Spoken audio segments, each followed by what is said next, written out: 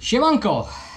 Na ostatniej jakże sympatycznej trasce wprawne ucho słuchacza może dostrzegło niepokojące dźwięki dobiegające od strony roweru, takie trzaski. Po tym jak pojeździłem trochę po piachu, a potem po tej mokrych ulicach, po tym dosyć intensywnym deszczu, te trzaski przybrały na sile. Wróciłem do domu, wyczyściłem rower, wyczyściłem napęd. Dzisiaj dosłownie na 10 km wyskoczyłem. Jedna taka troszkę ostrzejsza, ale krótka hopeczka, kilka mniejszych. Chciałem sprawdzić. No niestety dalej ten niepokojący dźwięk i wkurzający dźwięk się pojawia. E, Dźwięk niepokojąco przypominający to, co miało miejsce w zeszłym roku, kiedy po powrocie z urlopu zajrzałem do supportu oryginalnego i tam był po prostu syf i gnój, kupa piachu. No i teraz dźwięk jest bardzo podobny, więc zajrzę do supportu, a dokładniej mam zamiar go wybić. Mam nadzieję, że wyjdzie w całości, będzie można go potem zamontować. A support, jaki w, zesz- w zeszłym roku założyłem, to był token Ninja. Wciskany, bo do skręcanego mam uraz ostry jeszcze z czasów szosy, gdzie po wsadzeniu tego skręcanego w szosie, nie wiem czy on się tam źle osadził, czy mufa była źle splanowana, ale wyciągnąć go już się nie dało, musiałem go dosłownie wydłubywać wtedy z ramy, więc do skręcanych mam duży uraz, a zobaczymy jak wygląda ten support po roku jazdy w różnych warunkach. Czy tam w środku jest syf, czy może to coś innego trzaska. Dobra, bawimy się. Na razie demontaż mechanizmu korbowego.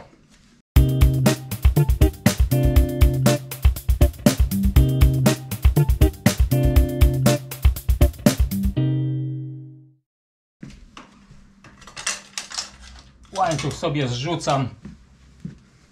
Po prostu nie będę go rozpinał. Po tym jak sobie poluzujemy śrubki po obydwu stronach korby, bierzemy kluczyk, wykręcamy tą nakrętkę dociskową, podważamy i tu nam schodzi. No jest trochę syfu.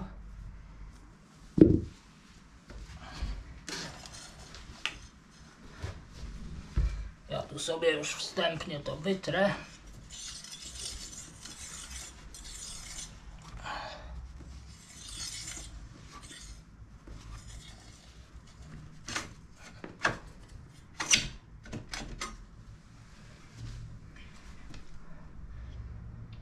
W środku brudu nie ma.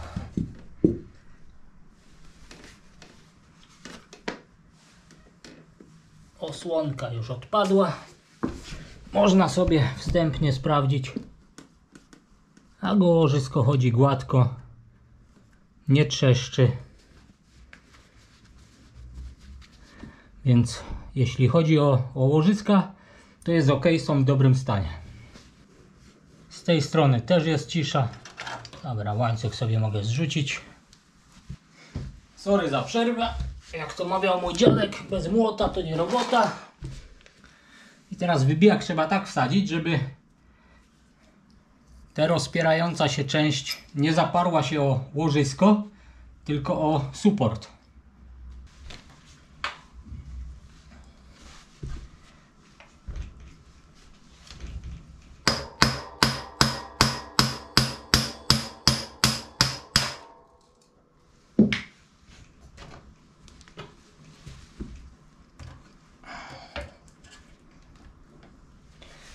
No jak widzicie, wyszło elegancko. I jak widzicie, tak wygląda w środku. Jest tyle piachu. Więc znamy już przyczynę trzasków, hałasów.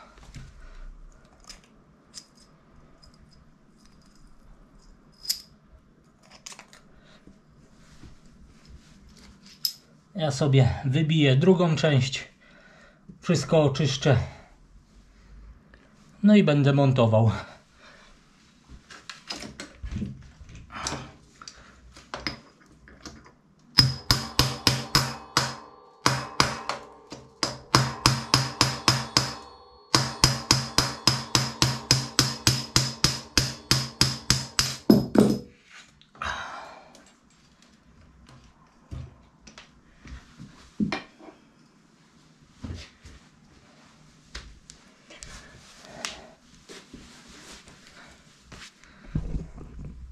No sami powiedzcie, jak to miało nie hałasować, nie czaskać.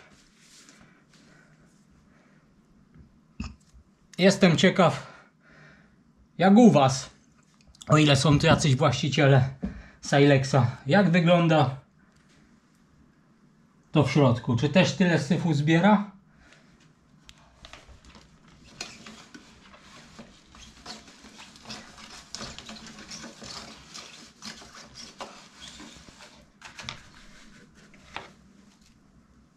Wstępnie, tylko troszkę. Ależ tego tu jest. Jeśli wszystko wygląda chaotycznie, to tylko dlatego, że jak wiele razy powtarzałem, nie potrafię kręcić serwisowych filmów, a i tak co jakiś czas jakaś prośba się pojawia.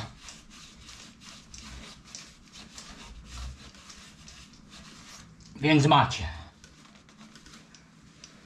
Alkohol metylowy. Dokładnie wycieram w środku.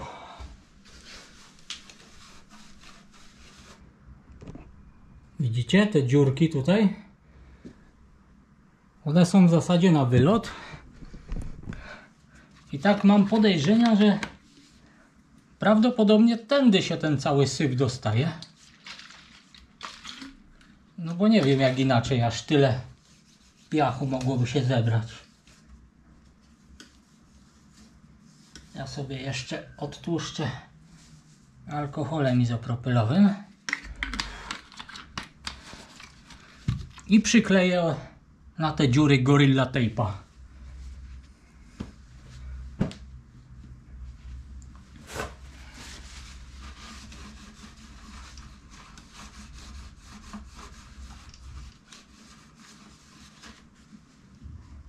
No ciężko mi uwierzyć, że tyle syfu gdzieś przez sztyce się dostaje. To jest niemożliwe.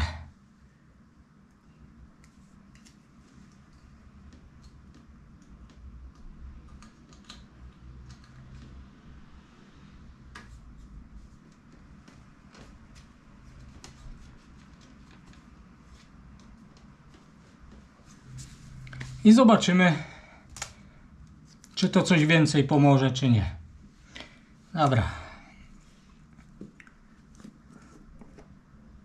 Smarnijmy trochę.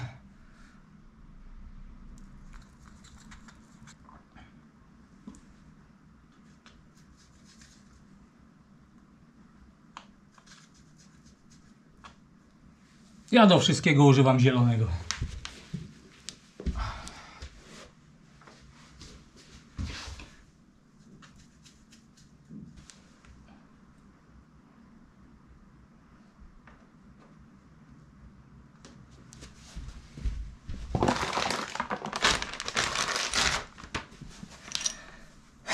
No i to jest właśnie taka zabawa z pressfitem, że najpierw że trzeba kupić wybijak, trzeba kupić praskę i dopiero można cokolwiek z tym fantem zrobić.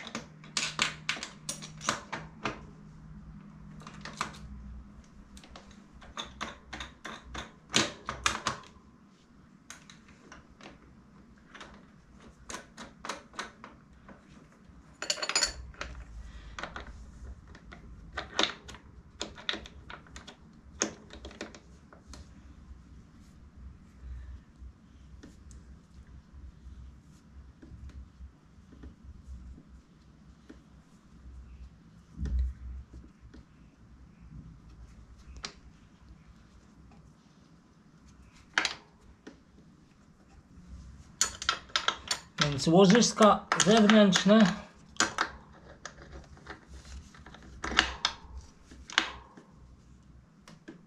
mają w tym wypadku tą przewagę,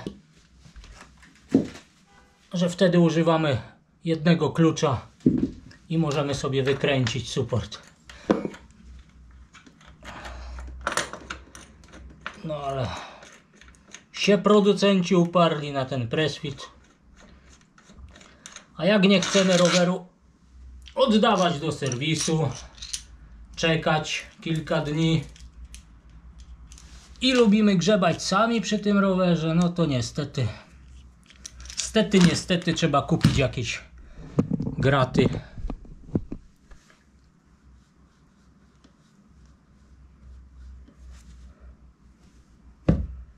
Dobra, zobaczymy jak to będzie kręciło. Montujemy.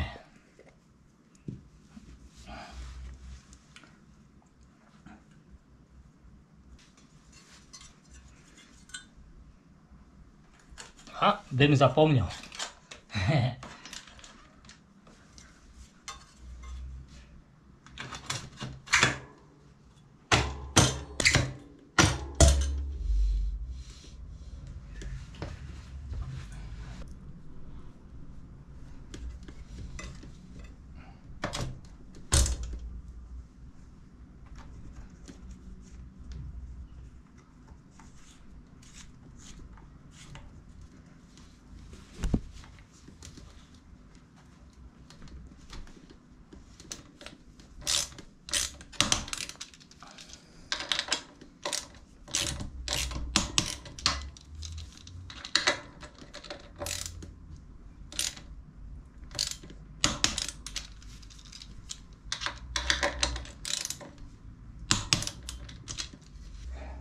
Tym oto sposobem suport został wyjęty, wszystko wyczyszczone, nasmarowane i zamontowane ponownie. Mam nadzieję, że pomogło i już czasków nie będzie. Tyle na dzisiaj. Jak mówiłem, kompletnie nie potrafię robić filmów serwisowych, ale upieracie się czasami, żebyście chcieli. Proszę bardzo. Nara, hej.